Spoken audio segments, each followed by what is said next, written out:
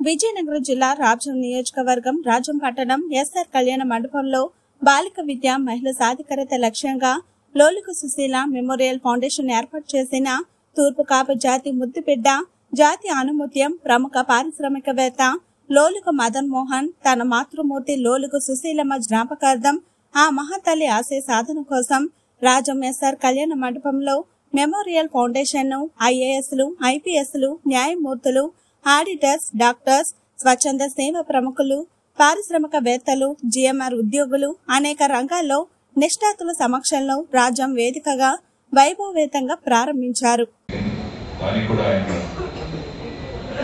ఆశీర్వదించాలి అభినందించాలి. ఆ తర్వాత ఇంతమంది గొప్ప వ్యక్తులు ఇక్కడ వచ్చారు ఇందాకే గోవింద మాట్లాడుతూ అన్నారు ఇది ఒక క్రికెట్ టీం లాగా ఉంది. ఆ క్రికెట్ టీంలో నేను లాస్ట్ బ్యాట్స్మెన్గా వచ్చాను. మిగతా ప్లేయర్స్ అంతా కూడా ప్రమాణంగా బ్యాటింగ్ చేశారు. తర్వాత లాస్ట్ బ్యాట్స్మెన్ లంచ్ ముందు వచ్చాడు అదొకటి. కాబట్టి అందరూ ఏం కోరుకుంటారంటే ఈ బ్యాట్స్మెన్ తొందరగా అవుట్ అవుతే బాగుంటుంది. మీ సమయాన్ని ఎక్కువ తీసుకోకుండా ఎంతో మంది గొప్ప వ్యక్తులు అందరూ వచ్చారు. ఈరోజు అందరం కలిసి పనిచేద్దాం అందుకనే మనం అసతోమ సద్గమయ తమసోమ జ్యోతిర్గమయ మృత్యోర్మ అమృతంగమయ. అంటే మనం కనుక సంకల్పిస్తే మనం మరణం తర్వాత కూడా మనం శాశ్వతంగా ఉండిపోవచ్చు అన్నది మనందరికీ నేర్పించే విషయం. కాబట్టి ఈ ఫౌండేషన్ ద్వారా ఈ ప్రాంతంలో ధాన్యం కొనుగోలు కేంద్రాలను పరిశీలించిన ఎంపీపీ జల్లిపల్లి. ప్రభుత్వం ప్రత్యేకించ కొంటుంది అధైర్య పడకండి ఎంపీపీ జల్లిపల్లి.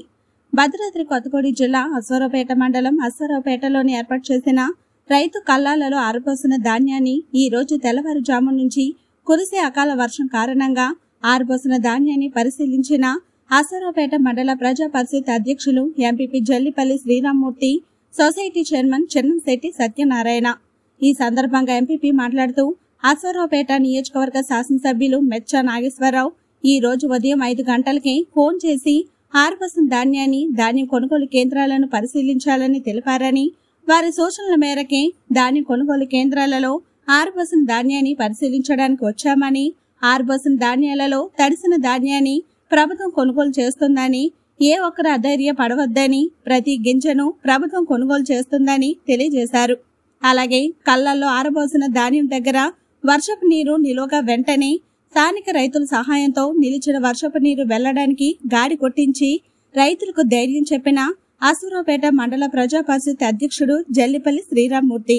ఈ కార్యక్రమంలో వారితో పాటు society chairman Chennamsetti Satyanarayana CEO Manepalli Vijayababu రైతులు తదితరులు పాల్గొన్నారు.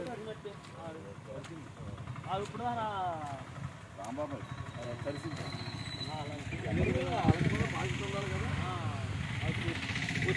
కనపట్లేదు ఎవరు?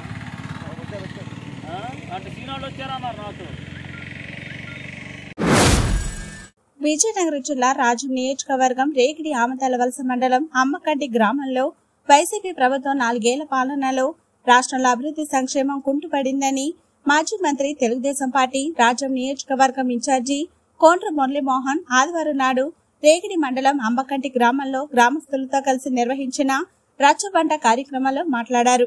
ఆంధ్రప్రదేశ్లో నిత్యావసర ధరలు పెరుగుదల ఇసుక మాఫియా త్రాగునీటి సమస్య రైతులు పండించే పంటలకు గిట్టుబాటు ధరలు లేక రైతులు నష్టపోతున్నారని దేశంలోనే ఎక్కువగా అప్పుల బాధలతో ఆంధ్రప్రదేశ్లో రైతులు ఆత్మహత్యలు పెరిగాయని దుయ్యబడ్డారు.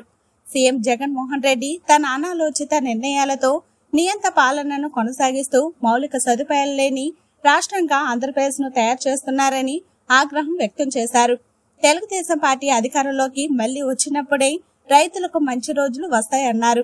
ఈ వైసీపీ ప్రభుత్వంలో వ్యాపారస్తులు పారిశ్రామికవేత్తలు ఉద్యోగులు తీవ్ర ఇబ్బందులు ఎదుర్కొంటున్నారని అన్నారు. నిరుద్యోగ సమస్య దేశంలోనే ఏపీలో అత్యధికంగా ఉందని అన్నారు.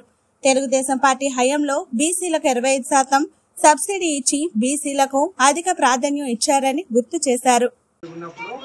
ఇరవై వేల మెగావాట్లు దగ్గర ఆయన రూపాయి డెబ్బై ఐదు నుంచి రెండు రూపాయలకి అగ్రిమెంట్ చేసుకుంటే ఈయన వచ్చి ఆయన పేరు వస్తుందని అది తీసాడు తీస్తే ఈరోజు పదిహేను రూపాయలు పెట్టి కొంటున్నాడు కొంటే ఆ భారం అంతా కూడా మన మీద పడుతుంది. ఇప్పుడు ఏమవుతుంది? ఈయనేమో అప్పులు తీర్చలేకపోతున్నాడు వాళ్ళేమో పదిహేను రూపాయలు కాదు కదా నువ్వు ఇరవై రూపాయలు ఇచ్చినే అంటున్నారు. అంటే మన పరిస్థితి రోజు రోజుకి? రోజు రోజుకి ఇండస్ట్రీస్కి లేకపోతే మనకి వినియోగం పెరుగుతుంది. అంటే ఇది ఒక ఉదాహరణ. ఒక్క విద్యుత్తులోనే ఈ ఇబ్బందులు ఉన్నాయి. దేశం అంతా కూడా రైతులకి విద్యుత్ మీటర్లు పెట్టనంటే ఇక్కడ మాత్రం డబ్బులు ఇస్తామంటే వెంటనే విద్యుత్ మీటర్లు పెట్టేశారు. అందులో దురదృష్టం మన జిల్లాకి అయితే విద్యుత్ మీటర్లు పెట్టేశారు. మిగతా దగ్గర అయితే రైతులందరూ ఒప్పుకోవడం లేదు.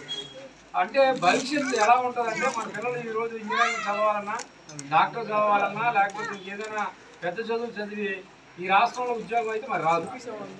అందుకోసం ఏంటంటే ఇలా ప్రతి విషయం చెప్పుకుంటే అన్ని విషయాలు వెనకబడిపోతున్నాం. అలాగే రేట్లు కూడా ఎందుకు రేట్లు పెరిగాయంటే మిగతా రాష్ట్రాల కన్నా మన రాష్ట్రంలో డీజిల్ పెట్రోల్ రేటు లీటర్కి పది నుంచి పదిహేను రూపాయలు ఎక్కువ ఉంది. ఇవన్నీ కూడా ప్రజల్లోకి తీసుకెళ్ళాలి మనం. అలాగే లా అండ్ ఆర్డర్ చూసుకుంటే ఏ రోజు కూడా మరి ప్రభుత్వం మీద వ్యతిరేకంగా మాట్లాడితే ఎప్పుడు కూడా కేసులు పెట్టేవారు కాదు. ఈ రోజు అన్ని కేసులు పెడుతున్నారు. చివరికి ఆయన పోస్టర్ పోస్టర్ పెట్టుకున్నాడు. జగనన్న ఏదో ఒక పోస్టర్ పెట్టుకున్నాడు.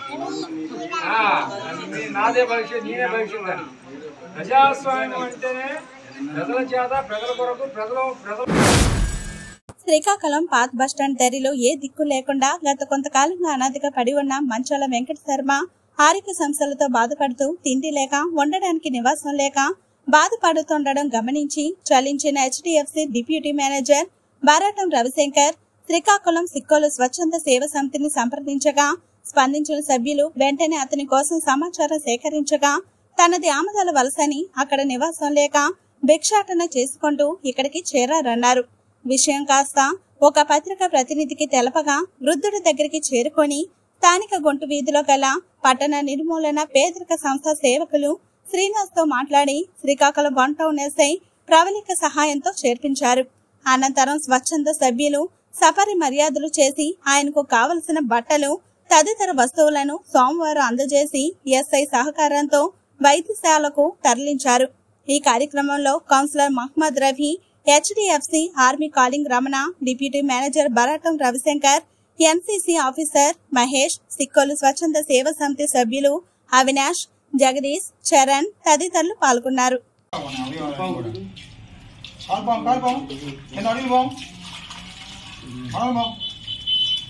నువ్వు కూడా స్నానం స్నానం చేయి పర్లేదు ఇబ్బంది లేదు. స్నానం చేయి. నీళ్ళు పోతే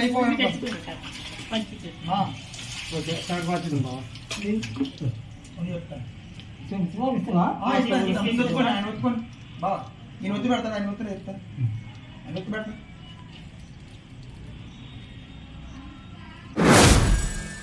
కార్మిక శ్రేయస్సే ధ్యేయంగా కేసీఆర్ పాలన సాగిస్తున్నారు ఎమ్మెల్యే వర్మ.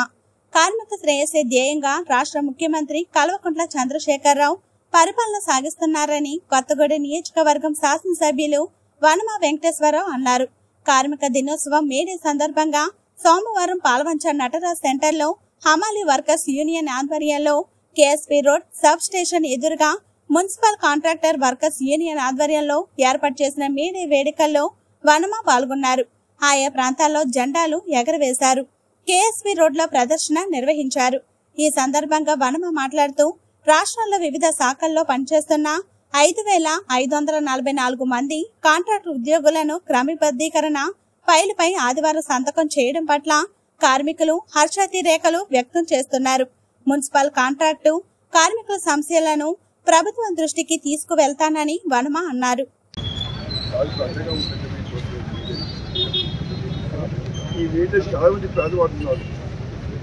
సమాజం కానీ రిక్షా కార్మికులు కానీ గ్రామాల్లో షాపులో పనిచేసింది. కార్మికులు కానీ మున్సిపాలిటీలో పనిచేసిన కార్మికులు కానీ అదేవిధంగా అనేక పరిశ్రమలు దానికి థర్మల్ పరిస్థితులు కానీ వాటర్ ఫ్యాక్టరీ కానీ వ్యాపార ఫ్యాక్టరీ కానీ ఇదే కాకుండా కొత్తగూడెంలో ఇంజనీరింగ్ కాలేజ్ కానీ ఇప్పుడు మన మన రాష్ట్రంలో అంటే కొత్తగూడెంలోని అసంఘటిత కార్మికులకు జరిగింది. వాళ్ళందరికీ లక్ష్యం రూపాయలు తీసుకుని అన్ని విధాల ప్రభుత్వం కానీ ప్రజాప్రభుత్వం కానీ అందరూ కూడా కార్మిక పట్ల కానీ వాళ్ళకి అన్ని విధాల అన్ని విధాల లక్ష్యం ముఖ్యమంత్రి కేసీఆర్ గారు కేసీఆర్ గారి నిన్ననే నిన్న మొన్న చంద్రబాబు ఉద్యోగ కార్మిక హక్కులపై కేంద్ర రాష్ట్ర ప్రభుత్వాలు చేస్తున్న దాడులను మేడే స్ఫూర్తితో సమరశీల పోరాటాల ద్వారా తిప్పికొట్టాలని సిఐటియుసి జిల్లా కార్యదర్శి సిహెచ్ రామూర్తి నాయుడు రాజంలో జరిగిన మేడే కార్యక్రమంలో పిలుపునిచ్చారు. స్థానిక మున్సిపల్ కార్యాలయం ఆవరణలో జరిగిన జెండా ఆవిష్కరణను ఉద్దేశించి మాట్లాడుతూ ఎనిమిది గంటల పనిదినం కోసం కార్మిక వర్గం పోరాటం మేడేగా ప్రసిద్ధికెక్కిందని దీని ఫలితమే ప్రపంచ వ్యాప్తంగా కార్మిక శ్రామిక ప్రజానికానికి హక్కులు సౌకర్యాలు సాధించుకోగలరని సాధించుకున్న హక్కులను పని గంటలను పాలక వర్గాలు పెట్టుబడిదారి వర్గం నుండి రక్షించుకునేందుకు మరో విరోచిత పోరాటాలు నిర్వహించవలసిన పరిస్థితి ఏర్పడిందని అన్నారు. ఈ కార్యక్రమంలో రాజేష్ గిరి కనకరాజు శంకర్రావు కృష్ణ చిన్నబాబు అనిల్ కుమార్ రవి శ్రీనివాసరావు గురువులు సింహాచలం భాస్కర్రావు మొదలగు వారు పాల్గొన్నారు. చేసే ప్రయత్నం చేసింది. అంతేకాకుండా అనేకేళ్ళుగా పోరాడి సాధించుకున్నటువంటి ఎనిమిది గంటల పని విధానాన్ని రద్దు చేసి ఇవాళ పన్నెండు గంటల పని విధానాన్ని తీసుకొచ్చే ప్రయత్నం కేంద్రంలో బీజేపీ ప్రభుత్వం చేస్తుంది. ఇది దుర్మార్గమైనటువంటిది. కేంద్ర ప్రభుత్వం ఏదైతే ఉందో బీజేపీ నరేంద్ర మోడీ అనుసరిస్తున్న కార్మిక వ్యతిరేక విధానాలకు వ్యతిరేకంగా దేశవ్యాప్తంగా మేడే స్ఫూర్తితో ఉధృతమైన పోరాటాలు నిర్వహిస్తామని చెప్పి హెచ్చరిస్తున్నాం. ఈ రాష్ట్ర ప్రభుత్వం కూడా బీజేపీ అనుసరిస్తున్నటువంటి ప్రజా కార్మిక వ్యతిరేక విధానాల్ని బలపరుస్తూ ఆ విధానాలకు అనుగుణంగా ఈ రాష్ట్రంలో కూడా కార్మిక వర్గం మీద దాడి నిరంతరము చేస్తుంది. అందులో భాగంగా గుమ్మం లక్ష్యంపురం మండలం పాములు గీసాడ అనే గ్రామంలో ఏఐసిసిటియు ఆధ్వర్యంలో పాలక సహదేవుడు ఆధ్వర్యంలో జెండా ఆవిష్కరణ జరిగింది. ఈ జెండా ఆవిష్కరణకి గుమ్మం లక్ష్యంపురం మండల కార్యదర్శి అలాగే నిమ్మక గణేష్ ఏఐసిసిటియు నాయకులు అలాగే కె. ధర్మారావు తోయక బాలయ్య జలకర్ర సురేష్ తదితర వ్యవసాయ కార్మికులు మరియు ఏఐసిసిటియు కార్యకర్తలు పాల్గొన్నారు. నూట ముప్పై ఎనిమిదవ అంతర్జాతీయ కార్మిక దినోత్సవం మేడే వర్దిల్లాలి నాలుగు లేబర్ కోడ్ వ్యతిరేకంగా పోరాడుదాం. విశాఖ ఉక్కు ఆంధ్ర హక్కు నినాదాలు చేస్తూ కార్మికుల ఐక్యత వర్దిల్లాలి అంతర్జాతీయ కార్మిక ఐక్యత వర్దిల్లాలి పోరాడితే పోయేది ఏమీ లేదు. బానిస సంఖ్యల తప్ప అని నినాదాలు చేస్తూ ప్రసంగించారు. గుమ్మం లక్ష్మీపురం మండల కార్యదర్శి మండంకి సురేష్ ఆధ్వర్యంలో కార్యక్రమం జరిగింది. ఈ కార్యక్రమానికి పెద్ద ఎత్తున మహిళలు కార్యకర్తలు పాల్గొన్నారు. లేబర్ కోడ్లకు వ్యతిరేకంగా పోరాడుదాం పోరాడుదాం. మోడీ నినాదాలకు వ్యతిరేకంగా పోరాడుదాం పోరాడుదాం. విశాఖ కాపాడుకుందాం కాపాడుకుందాం కాపాడుకుందాం. తగ్గిపడ్డ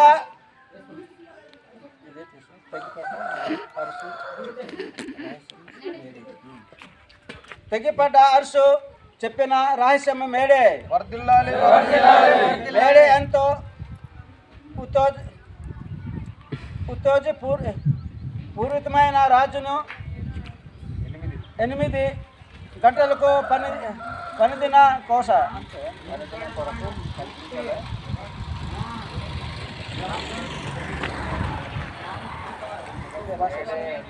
నేడు ఎంతో ఉత్తర్ణతపూరితమైన రాయితీలు ఎనిమిది గంటల పని దినాల పని దినము కల్పించాలి కల్పించాలి.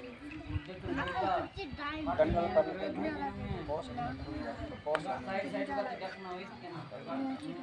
లక్షలాది కార్మికులకు రక్తము చిందించిన రాజును ఎటువంటి ముఖ్యమైన రోజు ఇప్పుడు మాసక వీరకట్ట మండలం ఆటో స్టాండులో ఏఐసిసిటియు నూట ముప్పై ఎనిమిదవ అంతర్జాతీయ కార్మిక దినోత్సవం మేడే కార్యక్రమం జరుపుకున్నాం. ఈ కార్యక్రమానికి ముఖ్య అతిథిగా సిపిఎంఎల్ పార్టీ కార్యదర్శి పి భాస్కర్ హాజరయ్యారు. ఈ కార్యక్రమానికి నాయకులు మరియు కార్యకర్తలు పాల్గొన్నారు. తెగబడ్డ శిరస్సు చెప్పిన రహస్యం మేడే ఉత్తేజయ్యే పూరితమైన రోజు ఎనిమిది గంటలు పనిదినముల కోసం లక్షలాది కార్మికులు రక్తం చిందించిన రోజు ముఖ్యమైన రోజు అటువంటి ముఖ్యమైన రోజు ఇప్పుడు మసకబారిపోతుంది మేడే వర్దిల్లాలి కార్మిక దినోత్సవం వర్దిల్లాలి ప్రపంచ కార్మికులారా ఏకమవ్వండి. మోడీ పాసింజర్ వాడిద్దాం. పెరుగుతున్న గ్యాస్ పెట్రోల్ డీజిల్ ధరలకు వ్యతిరేకంగా పోరాడదాం అని కార్మికులు నినాదిస్తూ జెండా ఆవిష్కరించారు.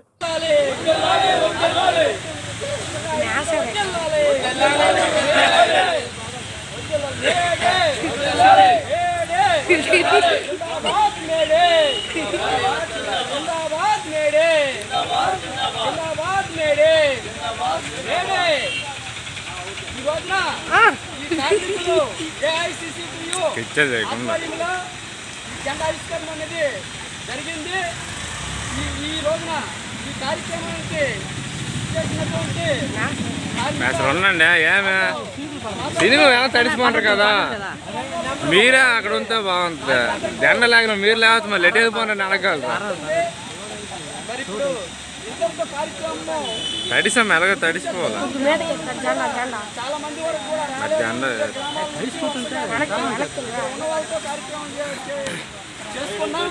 ఈ ప్రపంచ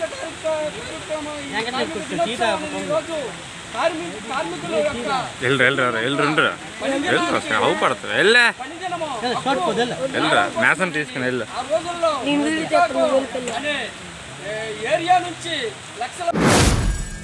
ఏలూరు జిల్లా లింగపాలెం మండలం రంగాపురం మొలగలంపాడు గ్రామంలో ఆదర్శ మోటార్ వర్కర్స్ యూనియన్ ఈ సందర్భంగా అధ్యక్షులు టీవీఎస్ రాజు మాట్లాడుతూ బాలిస సంక్రాల నుంచి విముక్తిని పొందుతూ కార్మికుల ఐక్యత కోరుతూ ఘనంగా జరుపుకునే వేడుక మేడే అన్నారు. ఈ కార్యక్రమంలో అధ్యక్షులు ఎం వెంకటేశ్వరరావు అధ్యక్షులు కిషోర్ కార్యదర్శి సత్యబాబు కోశాధికారి శ్రీకాంత్ బాలకృష్ణ గంగారావు కార్మికులు తదితరులు పాల్గొన్నారు.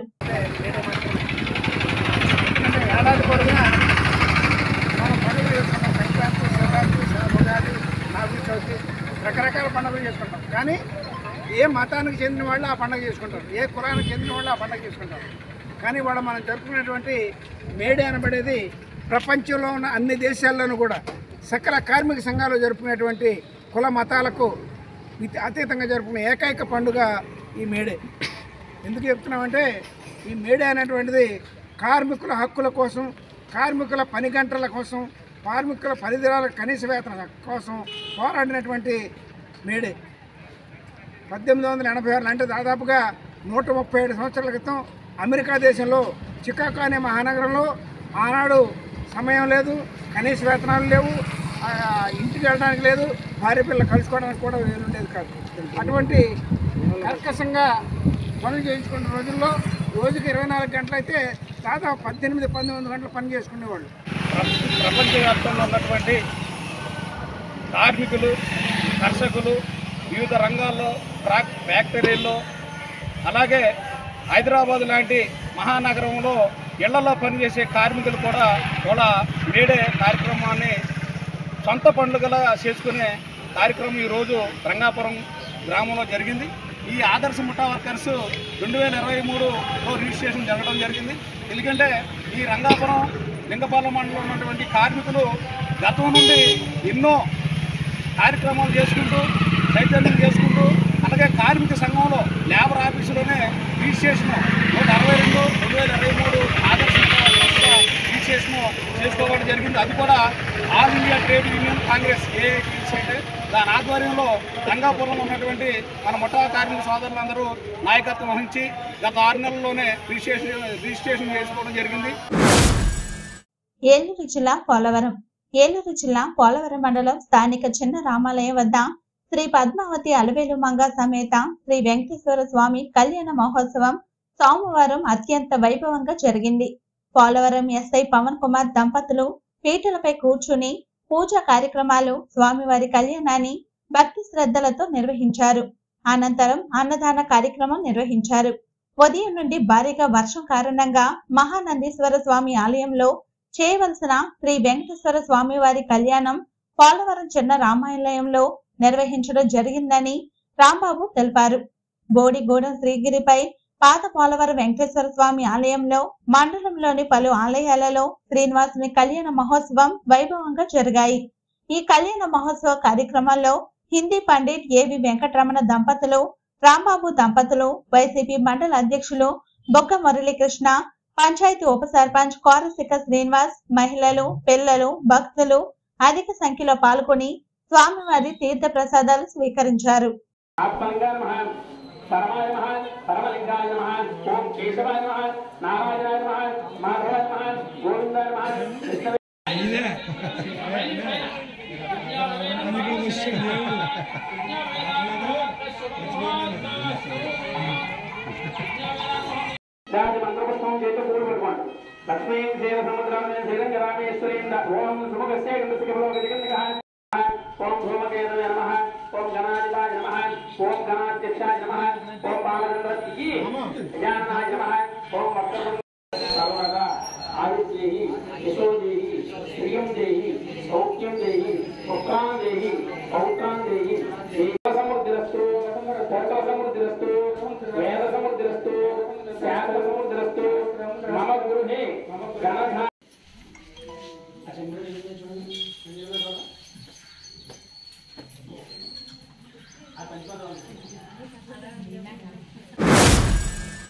ఏలూరు జిల్లా బొట్టైగూడ మండలం కోట నాగవరం సచివాలయ పరిధి ముప్పినవారిగూడెం గ్రామంలో నలభై రెండు లక్షలతో నిర్మించిన గ్రామ సచివాలయ నూతన భవనాన్ని పోలవరం ఎమ్మెల్యే తెల్లం బాలరాజు ప్రారంభించారు.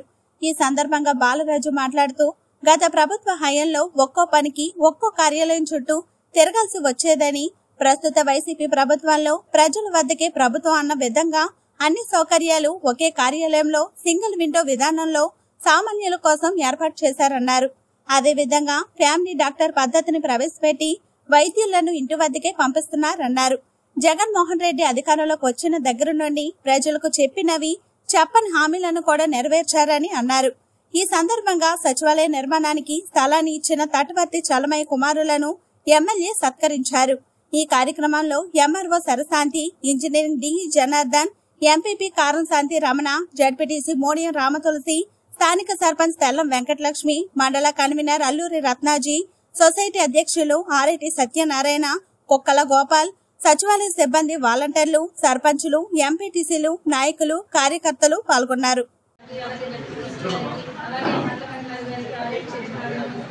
అలాగే గ్రామస్తులకి గ్రామ పెద్దలకి నాయకులకి అలాగే స్థలదారులకి వివిధ గ్రామంలో ఉంచిన ప్రజలకి అందరికీ పేరు పేరు నమస్కారాలండి అలాగే ఇక్కడ చేసిన ప్రతి ఒక్కరికి నమస్కారం ఈరోజు మరి మన సచివాలయం ఓపెనింగ్ జరిగిందండి. మీరందరూ వచ్చినందుకు చాలా సంతోషం మరి అందరూ కలిసి మనం ప్రతి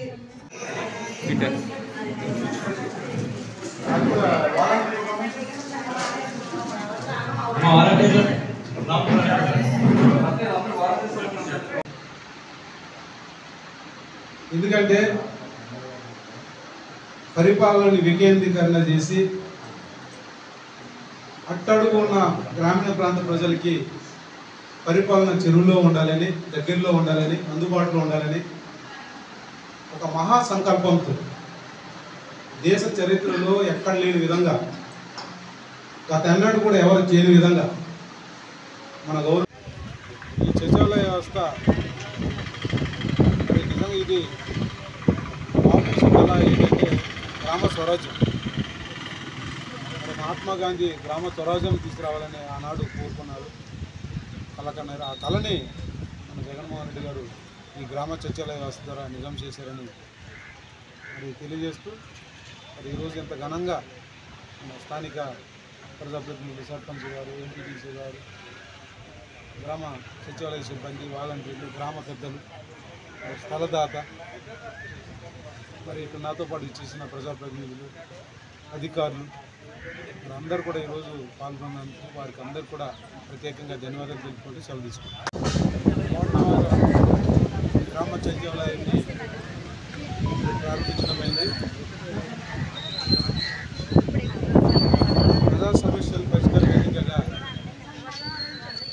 గ్రామ సచివాలయ వ్యవస్థని మన ప్రీత ముఖ్యమంత్రి జగన్మోహన్ రెడ్డి గారు ఏర్పాటు చేయమైంది. ఈ గ్రామ సచివాలయం ప్రజలకి